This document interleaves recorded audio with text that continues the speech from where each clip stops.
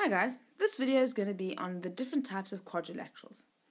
Now I find the most useful way to think of the types of quadrilaterals is as a family tree. So you just got to remember who's related to whom. So let's start with the most basic quadrilateral.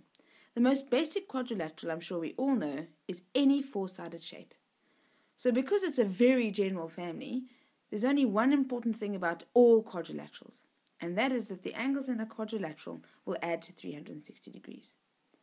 Okay, so what happens if we take a quadrilateral and we add one pair of parallel sides? That forms a shape called a trapezium.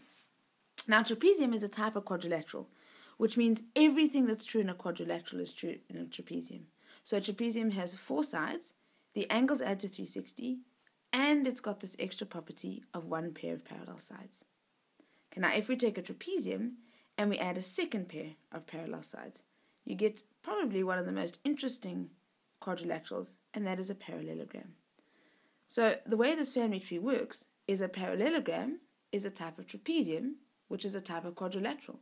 So everything that's true in a quadrilateral and a trapezium is true in a parallelogram, and extra properties. Now, a parallelogram has lots of extra properties. First of all, both pairs of opposite angles are equal. Second of all, both pairs of opposite sides are equal. And thirdly, a parallelogram has diagonals. Now, as you can see from this picture, diagonals of a parallelogram are not necessarily equal because a parallelogram generally lies on its side, which means you have a shorter diagonal and a longer diagonal. But what is important about these diagonals is that they bisect each other. So that means they cut each other in half. So each diagonal is cut perfectly in half. So if I just write down these new properties, opposite angles are equal, opposite sides are equal, and diagonals bisect. Now, all of those properties are going to be true in any parallelogram. Now, you get very special types of parallelogram. So if I take a parallelogram and I add the corner angles being 90 degrees, I get a very specific parallelogram called a rectangle. Now, a rectangle, being a parallelogram, has all the properties of a parallelogram, and then it has some extra properties. So, for example, both pairs of opposite sides will be equal. As you can see, both pairs of opposite angles are equal because they're all equal to 90. And my diagonals will definitely bisect. But a rectangle has an extra property with its diagonals. Because what's happened to the parallelogram is if you, you've almost straightened him up, he's no longer slanting, you can see from the picture that it makes sense that my diagonals will be equal. So when they bisect, they actually cut into four equal parts because the diagonals are equal in length. So the extra property that a rectangle has is diagonals are equal. Now if you go back to parallelogram and instead of adding 90 degree corners, what happens if you add all four sides equal? Then you get a shape called a rhombus. Now a rhombus is a type of parallelogram. So everything that's true in a parallelogram is true in a rhombus, but these four equal sides give it some extra qualities. So I've drawn in my diagonals. Now, of course, because this is a type of parallelogram, my diagonals will bisect. Now you can see those diagonals are still not equal because this isn't a rectangle. But these diagonals of a rhombus have some special things, and those are the diagonals will bisect at 90 degrees. That's not true in a parallelogram, it's only true in a rhombus.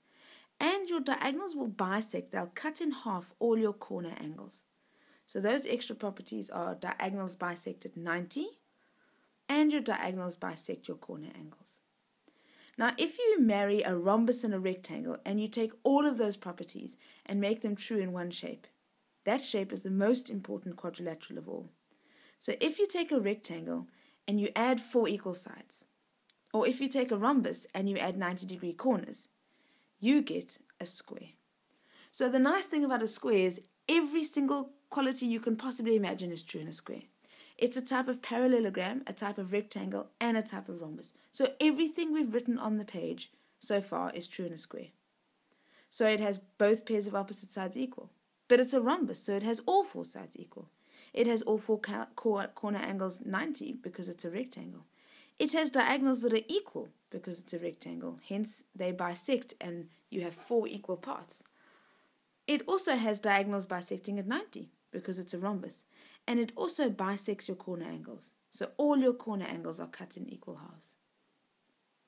Now, if you go back up to the top and you take a quadrilateral, and instead of going down to a trapezium, what happens if we go off to the left and we add something different?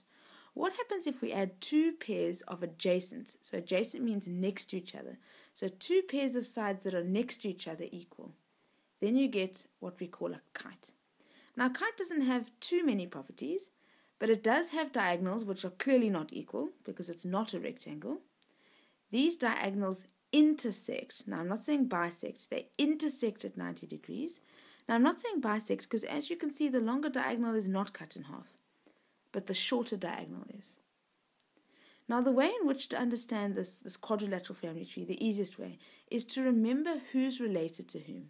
So you start with a quadrilateral, and if you go to the left, you get a kite. Now, if you add four equal sides to a kite, you actually go down to a rhombus. So this is very weird, but a rhombus is actually a type of kite. So let's have a look. If you have a quadrilateral and you add one pair of sides parallel, you'll get a trapezium. I can then add extra properties to get a parallelogram. So a parallelogram is a type of trapezium, which is a type of quadrilateral. Now you get specific types of parallelogram. A rectangle is a type of parallelogram, and a rhombus is a type of parallelogram. And as a square is a type of rectangle, rhombus, parallelogram, trapezium, and quadrilateral. Then if I go off to the side, I get a kite, and there's a very specific type of kite, which is called a rhombus. So this might make a little bit more sense after we look at each shape individually. So let's very quickly look at the properties of a quadrilateral. A quadrilateral, one property. Angles add to 360 degrees. Now, as you know in geometry, whenever you use a fact, you need to give a geometry reason. So our geometry reason for this is going to be sum of angles in a quad, which is very logical. Okay, let's look at a trapezium. A trapezium is a quadrilateral, so the angles will add to 360, but it is a specific type of quadrilateral with one pair of opposite sides parallel. Okay, let's look at a parallelogram. Parallelogram has two pairs of opposite sides parallel. It has two pairs of opposite sides equal. Now, if you're ever going to use these facts, our geometry reason is going to be opposite sides of palm. Palm is the shortening for parallelogram. It has two pairs of opposite angles equal. So if we use this fact, we're going to say opposite angles of a palm. And the diagonals bisect. If we use this fact, we're going to say diags of palm. So these geometry reasons are largely self-explanatory. So if I draw in all my properties on my parallelogram, now I need to remember that these properties are true in any parallelogram. So a rectangle is a type of parallelogram. So everything that's true in a parallelogram is true in a rectangle. So two pairs of opposite sides parallel and equal. Opposite angles equal.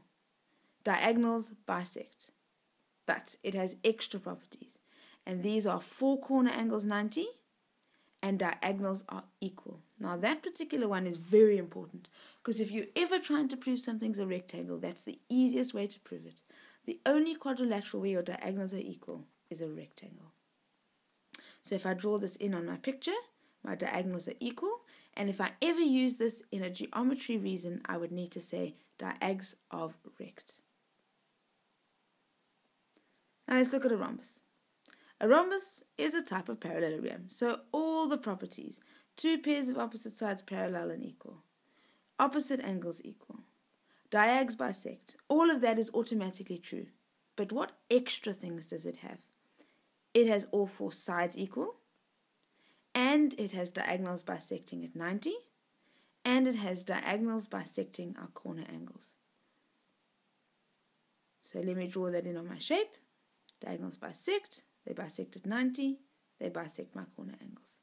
Now, if you ever use those last two and you want to explain in a geometry reason, you can just say diags of a rhombus. Now, the nicest one is a square because you never have to worry. Everything's true in a square.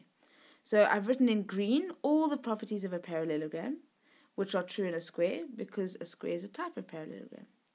Then a square is a type of rhombus, which means all the properties of a rhombus, which I've written in orange, are true in a square. And then a square is a type of rectangle, which means all the properties of a rectangle are true in a square. So everything you can imagine is true in a square. So I've drawn them in, both pairs of opposite sides parallel, all four sides equal, diagonals are equal and they bisect. They bisect at 90 and they bisect corner angles. Now, I didn't write this on my other diagram, but doesn't that mean that the corner angles will all be 45? That makes complete sense. Lastly, let's look at a kite. A kite has angles adding to 360 because it's a type of quad. It has two pairs of adjacent sides equal. It has diagonals that meet at 90 degrees and the shorter diagonal is bisected. So if we look at our picture, we have bisected, sorry, not bisected, intersected at 90 degrees, and the shorter one bisected. Now, if you ever need to use that information, you can just say diags of a kite. And we also already have noted that we can always use the reason sum of angles in a quadrilateral. Now, the thing I want to point out here is that I've never thought of a rhombus as a type of kite or a square as a type of kite, but it really is because all of these properties are true in a rhombus and in a square. And therefore, a rhombus and a square are actually a type of kite. They just have extra properties which make them look slightly different.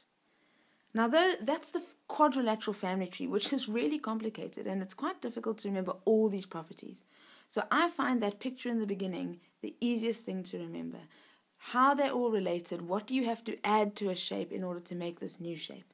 So try and remember all these geometry reasons, write summaries, draw each shape, label in all the all the properties because it'll be really really useful for the rest of your maths.